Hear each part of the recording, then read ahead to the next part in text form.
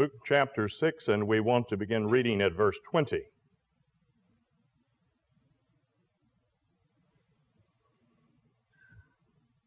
Luke 6, verse 20. Then he lifted up his eyes toward his disciples and said, Blessed are you poor, for yours is the kingdom of God. Blessed are you who hunger now, for you shall be filled. Blessed are you who weep now, for you shall laugh. Blessed are you when men hate you, and when they exclude you, and revile you, and cast out your name as evil for the Son of Man's sake. Rejoice in that day, and leap for joy. For indeed your reward is great in heaven, for in like manner their, uh, their fathers did to the prophets. But woe to you who are rich, for you have received your consolation. Woe to you who are full, for you shall hunger. Woe to you who laugh now, for you shall mourn and weep. Woe to you when all men speak well of you, for so did their fathers to the false prophets.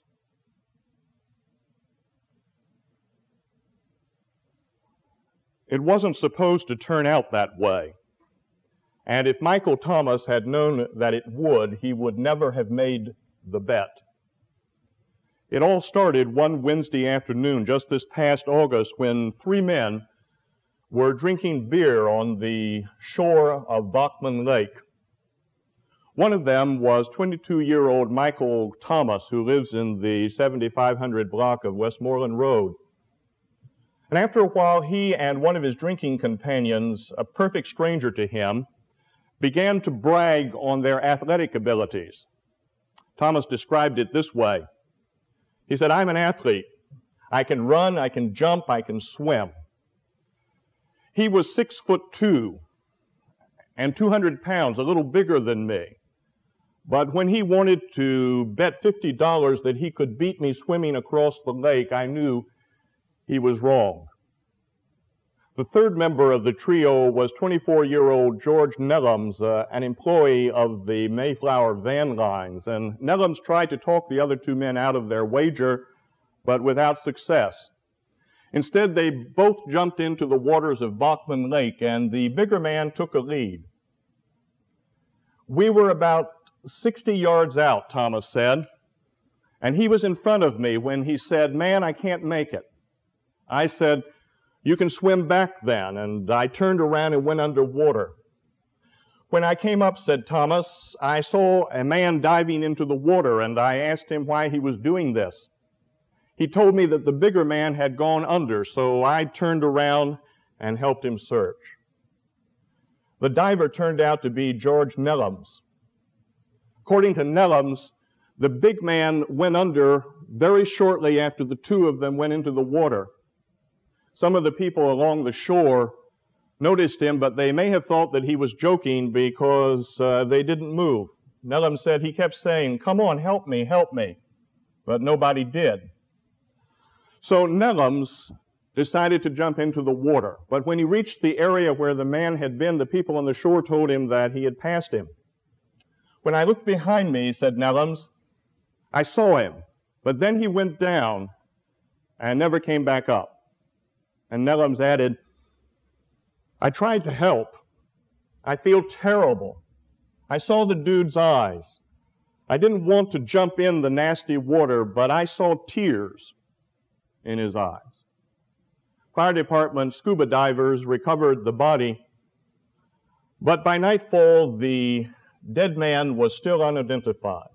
And so, for a little time at least, he remained uh, an anonymous person who had gambled his life and lost for a miserable $50 bet.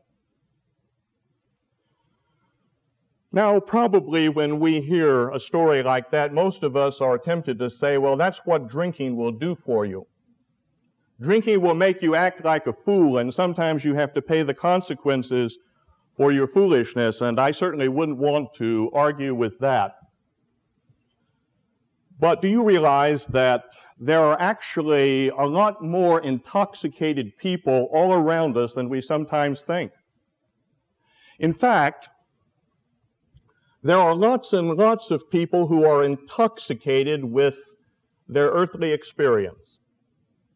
They are intoxicated with the things of the world. They are drunk with the pleasures of life. And the result is that they are engaged in a big gamble with their lives. And they are involved in a bet which they cannot possibly win. And let's not kid ourselves. Some of those people are born again Christians who are really saved and who are really on their way to heaven. And because this danger is so real, the title of my message this morning runs like this. Your life, what is it worth? Your life, what is it really worth?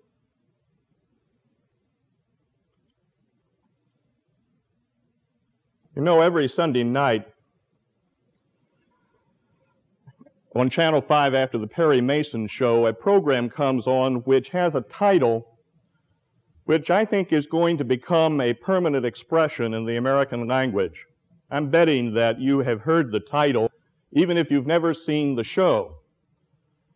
The name of the program is Lifestyles of the Rich and Famous. Lifestyles of the Rich and Famous. Robin Leach is the host of this program, and he is the celebrity interviewer who flies all over the world to interview the beautiful people, both here and abroad. His camera crews take reels of film of the lavish, expensive, exotic homes and surroundings in which these people live. And you know, it's probably a good thing that I usually fall asleep during the trial scene on Perry Mason because by the time Lifestyles comes on, I'm just about ready to go to bed. And you know, if you watched a program like that regularly and if you took it seriously, you could get a very wrong idea. you could get a very twisted and distorted notion of what life is really all about. You know, to hear Robin Leach tell it, the really successful people in this world are the people who have got it made. They're the people who have lots of money. And they are living in their dream houses and uh, they can travel all over the world. And they have plenty of time to play and to party. And if Robin Leach really believes the stuff that he says about uh, the rich and the famous, then Robin Leach has got it all wrong. And Robin Leach doesn't have the foggiest notion of what real success is all about. You see, Jesus Christ had an entirely different view of success. And if Jesus were to serve as the host of a television program, the title of the television program might be something like this Lifestyles of the Poor and Powerless. Lifestyles of the Poor and Powerless. And I want you to notice very carefully this morning that when Jesus begins to preach his famous Sermon on the Plain, his opening words are like a great big electric shock. It is just as, he, as if Jesus began this sermon by saying, Congratulations to you people out there that are poor. Congratulations to you people who are hungry. Congratulations to those of you who are weeping and who are rejected by other people. And then it's just as if he said, Congratulations to all of you because you are a great success. You are a great success. Now, please, don't think for a single moment that these words are addressed to all of the poor people on earth. Or to all of the people in the world who are hungry or weeping or rejected by other people. No, indeed. Remember that Jesus has just come down from a mountain where he spent all night in prayer to God. And early that day, Jesus has selected the 12 men who will be the innermost circle of his disciples.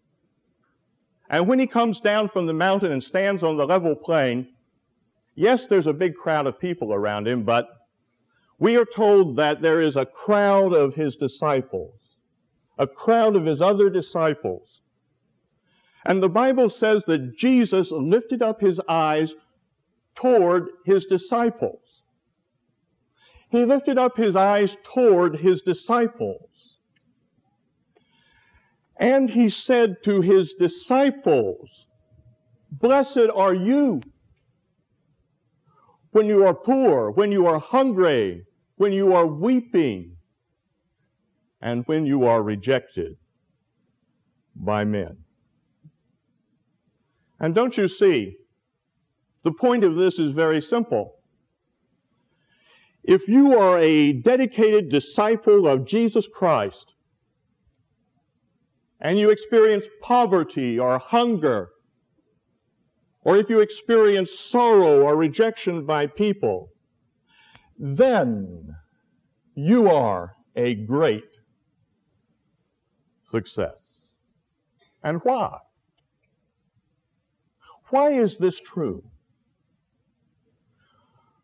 Well, if a disciple is poor, he's blessed because someday he's going to be rich.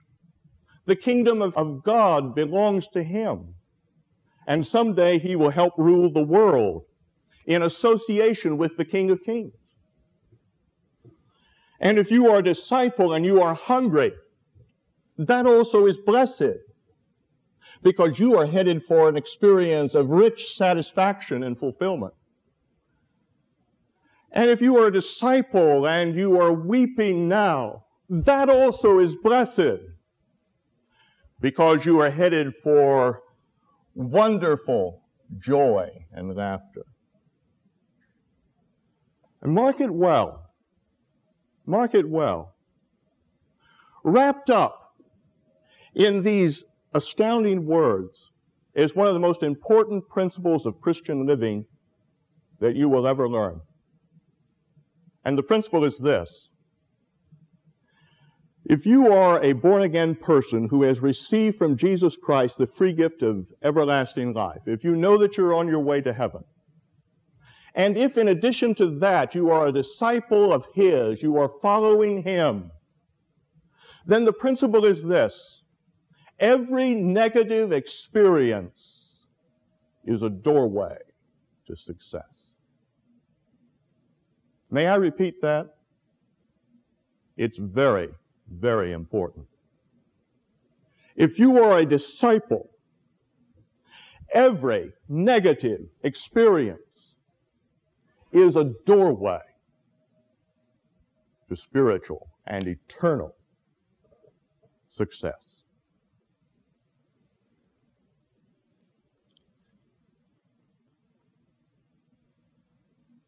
One time there was a missionary at Nady who was seriously ill in the far off place where she was serving the Lord. To add to her burdens, her check hadn't come. And day after day, she had to exist off of uh, oatmeal and canned milk, and she was unable to get the good food which she felt she needed. But despite everything, the missionary lady got better. And after 30 days of living off oatmeal, her check finally arrived and she was finally able to put something else on the table. Needless to say, during her sickness, uh, she sometimes suspected that the Lord wasn't doing her right. but after she went home on furlough, on one occasion, she was telling about this experience and talking to uh, an interested crowd of Christian hearers. And when the meeting was over, a kindly doctor came up to her and inquired what the nature of her sickness had been. And when he found out that it was a certain kind of digestive trouble, the doctor said to the missionary lady, if your check had come, you wouldn't be standing here talking to me today. The diet that we always prescribe for this kind of trouble is a 30 day oatmeal diet. And sometimes, my friends, when we are following the Lord, we do not like the menu that is served up to us by life. Sometimes we don't have enough money. Maybe we don't have enough to eat. Maybe things happen in our lives that make us cry. And any number of other things can take place, but let me assure you of this that the menu, the diet of a disciple of Jesus Christ is always planned by God. And it is always a prescription for spiritual health and for spiritual success. The famous Oriental philosopher, whose name was Lachmann, was at one time a slave. And on one occasion, his master brought him a bitter melon and Nachman took the melon and he ate it up completely. And his master was astounded, and uh, he said to Nachman, How is it possible for you to, to eat such a nauseating fruit? And Nachman replied, I've received so many favors from you that it's no wonder if for once in my life I should eat a bitter melon from your hand. The story is that his master was so impressed with this answer that he immediately gave Lachmann his freedom. And my Christian friends, I, if I were to tell you this morning that there were no bitter melons in the pathway of Christian discipleship, I'd be lying to you. I'd be lying to you. Of course, there are bitter melons in that pathway. But if we are willing to eat the bitter melons of life because of our dedication to our Lord and Master, if we are willing to do that, then we are rewarded both now and in the life to come. And when we eat the bitter melons of life for God, we are a great success.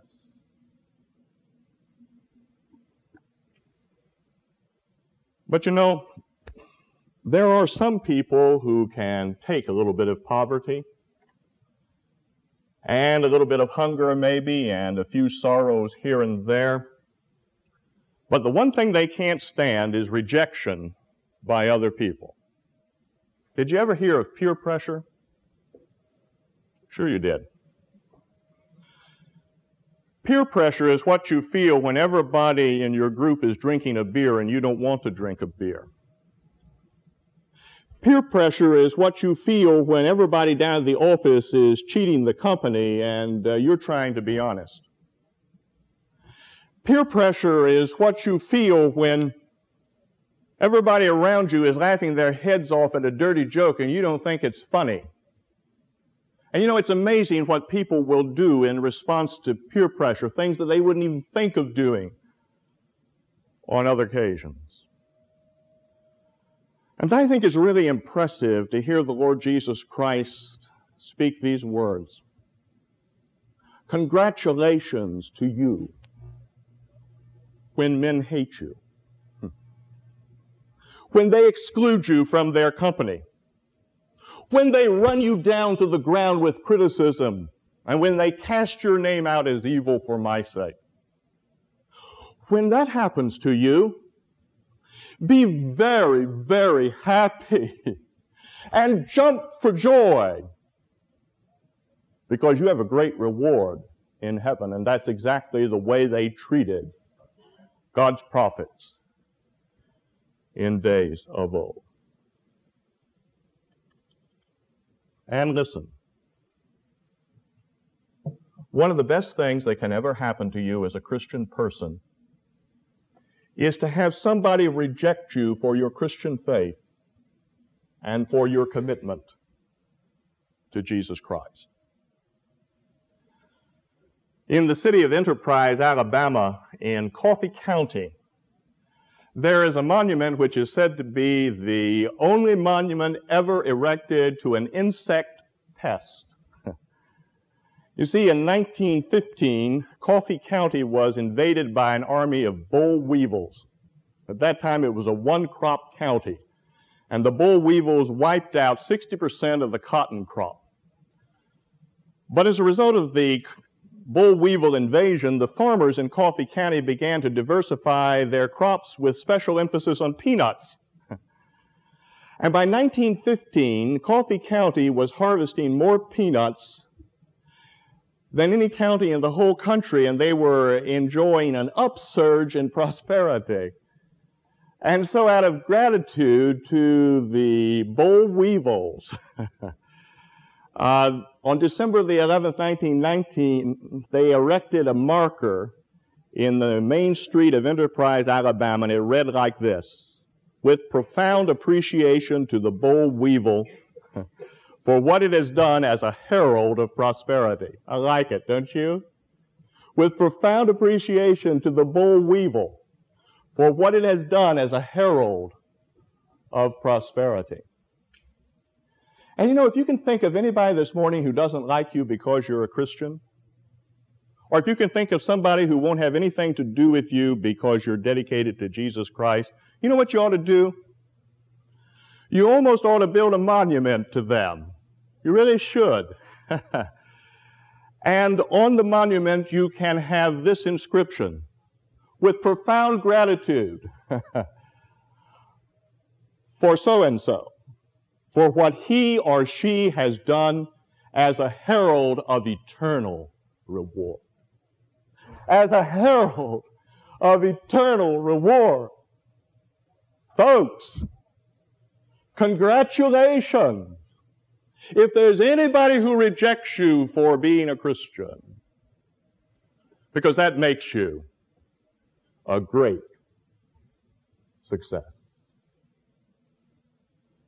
Now I can almost hear somebody saying, Well, Zane, you make it sound pretty good, but um, if I were to be perfectly honest with you, I would say that I still prefer the lifestyles of the rich and the famous. Do you? Do you really? Then listen to these words. But woe to you who are rich.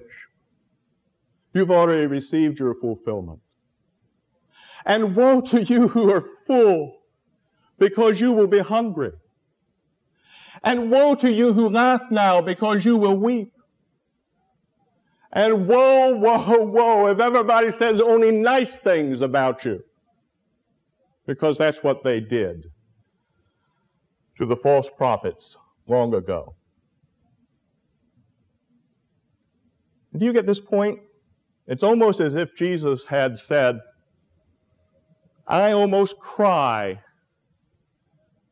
I almost weep for you folks who have it made. You have my profoundest sympathies. You have my deepest condolences because you've missed it. You've missed it. And you will never, ever experience the rewards that belong to my faithful disciples.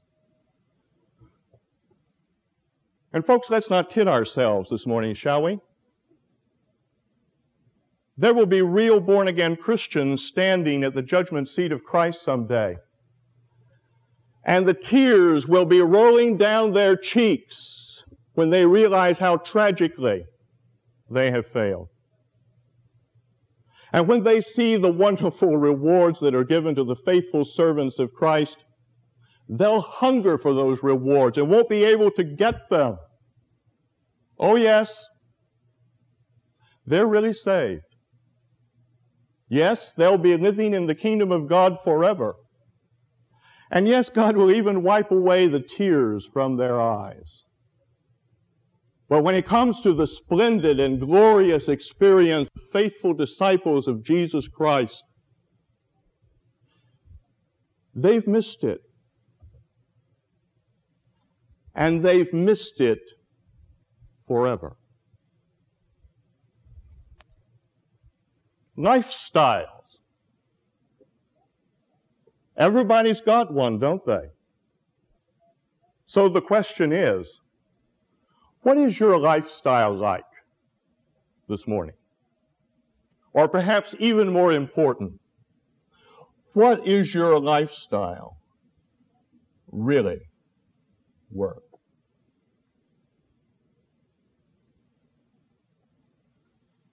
Quite a few years ago in England, a man by the name of Whitefield and a friend of his were taking a trip on horseback. They had just visited a widow and uh, they had given her five guineas, which was a large sum of money in those days, and uh, she needed it because she had a large family.